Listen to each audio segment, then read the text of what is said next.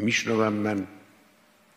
گاهی اوقات مداح صاحب هنر نه شعر و نه مضمون در جلسه او در جهت معرفت افزایی نیست.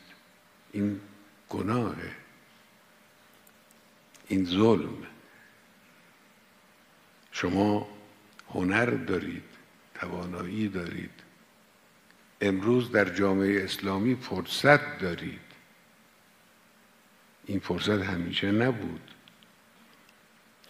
این فرصت در هر ساعتی در هر لحظه ای از لحظات عمر تاریخی که دست بدهد مقتنم است.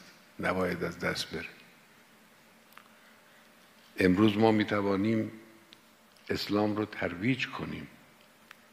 یک روز فقط با کتاب بود با منبر بود با سخنرانی بود. امروز علاوه بر آنچه که در گذشته بود با مداهی است. با مداهی است. سابق زمان دوران تاغوت این همه خواننده خوب این همه سراینده خوب در خدمت اهل بیت نداشتیم. امروز به حمدالله عده زیاد است.